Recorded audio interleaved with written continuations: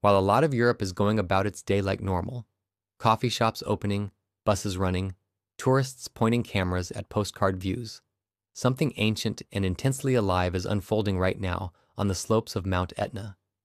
It starts the way many of Etna's most consequential episodes begin, not with a dramatic boom you can hear from the coast, but with a quiet signal that only instruments notice first. High above Sicily, satellites are sweeping over the volcano in their regular passes, and in the thermal bands, the mountain suddenly looks wrong. Not wrong like a glitch, wrong like a living body running a fever in one very specific place. A cluster of heat anomalies is sharpening into a clear pattern on Etna's eastern flank. The signature isn't diffuse. It's not a vague warm patch. It's concentrated, line like, and growing. And that detail matters because it suggests a fissure, an opening in the ground rather than a single vent. Down on the volcano, nothing looks particularly alarming at first.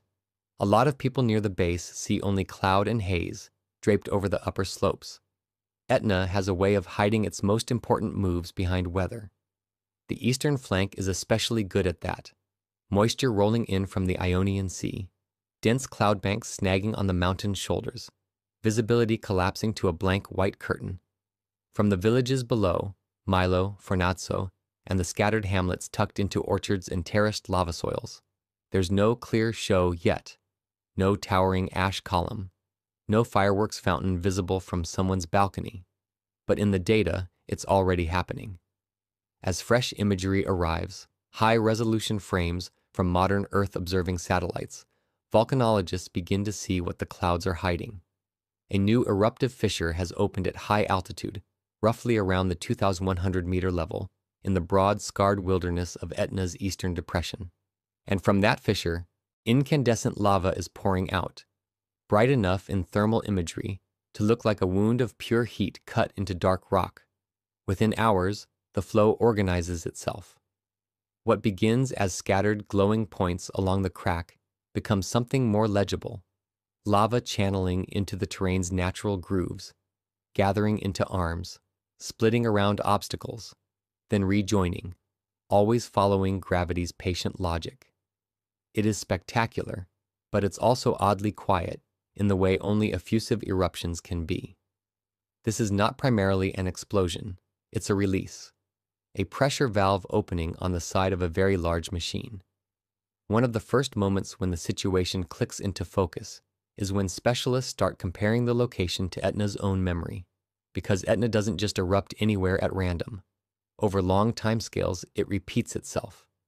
The mountain has preferred paths, structural weaknesses, and buried corridors where magma finds it easier to rise.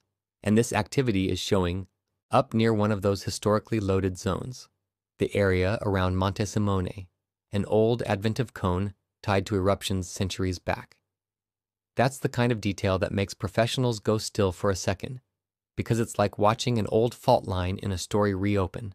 It doesn't guarantee escalation, but it does suggest that the plumbing beneath this flank is doing what it has done before reusing old routes, reactivating old fractures, exploiting the same deep architecture. Now, here's the part that always grabs people emotionally the visuals from below. From certain viewpoints on Etna's eastern side, the lava appears uncomfortably close to inhabited areas. It's a trick of perspective. Glowing flow lines draped across the mountain can look like they're pressing right up against villages, like the orange edge is just beyond the next ridge, almost at someone's doorstep. The effect is similar to the way a full moon seems enormous when it hangs low over the horizon those images spread fast because they are dramatic and because humans are wired to measure danger by what looks close. But the topography is doing something important here. Etna's eastern flank includes a massive natural containment feature, the Valle del Bove, a huge uninhabited depression, steep walled, broad, and empty. It's a geological amphitheater carved by collapse and reshaped by countless flows. The valley's scale is hard to grasp until you see it from the air. Kilometers wide, with walls that expose stacked layers of old lava like pages in a history book.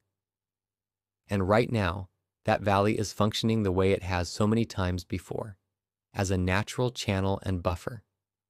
Instead of spreading freely in all directions, the lava is being guided, confined by the terrain into a route that trends downslope through the volcanic desert rather than directly into towns. The flow advances, yes, but it advances inside a landscape that was built for exactly this kind of event barren, rugged, and largely unoccupied. If you're watching the updates as they come in, the numbers are the anchor that cuts through the drama. The active front is down from the fissure, having lost hundreds of meters in elevation as it descends. The path isn't a straight line. It curves with the ground, meandering around rocky promontories, sometimes narrowing into channels, sometimes widening into lobes. Measurements of length can change as the lava finds new microroutes, and the flow field can expand in complex ways. One arm stalling while another surges, a new breakout appearing, then cooling into place. And this is exactly why satellite monitoring is so powerful in a moment like this. The same imagery that looks beautiful on social media is, for scientists, a set of measurements. Thermal intensity gives clues about which parts are actively moving versus crusting over. Repeated passes allow mapping of advance rates. Visible band imagery shows the geometry of the flow field and any changes in vent distribution along the fissure. Because the fissure isn't just one hole, it's a fracture, a line of multiple vents, each behaving slightly differently. Some points along it feed stronger, more sustained streams. Others pulse or weaken, Together, they build a lava field that evolves almost like a living thing, branching, thickening, cooling, cracking, then being overrun by fresh, hotter material. On the ground, the experience, when visibility opens, can be surreal. Imagine standing far below, where cultivated land ends and the mountain becomes raw. You see the upper slope glowing in segments, like strips of molten metal laid across black rock. The lava moves slowly in human terms, but it's relentless.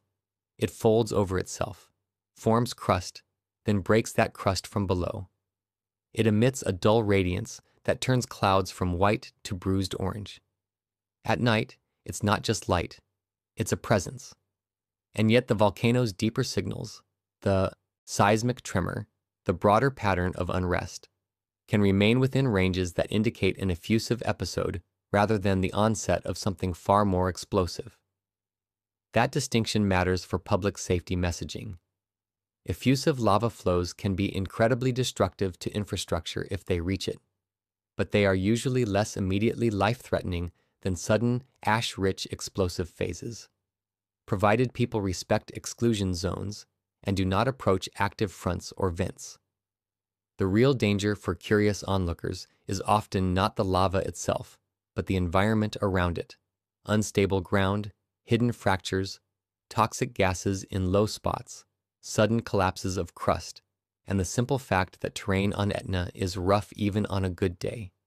Add heat and poor visibility, and it becomes unforgiving. This is also the moment when Etna's repeat behavior becomes the story behind the story. Why here? Why this flank? Why this line? Because magma behaves like any fluid under pressure. It seeks the easiest route. If a region of the crust has been fractured before, if an old dike once forced its way upward, that zone can remain a weakness, a scar that never fully heals.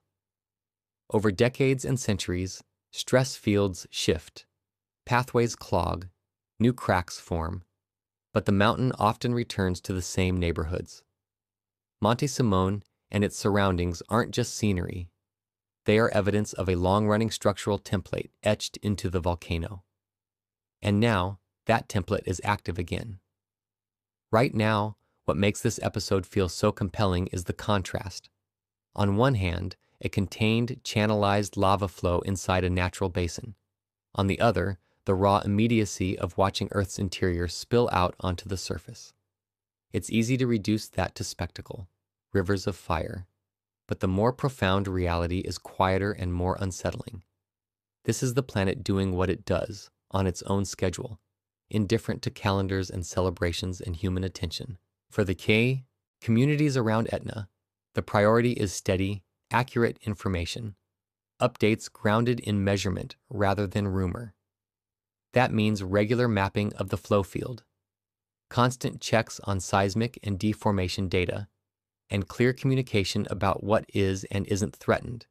It means respecting that Etna can change tempo quickly, but also acknowledging when the situation is stable enough to avoid unnecessary alarm. And on the mountain, the lava keeps moving, bright at its core, darkening at its edges, writing a new layer onto an old landscape.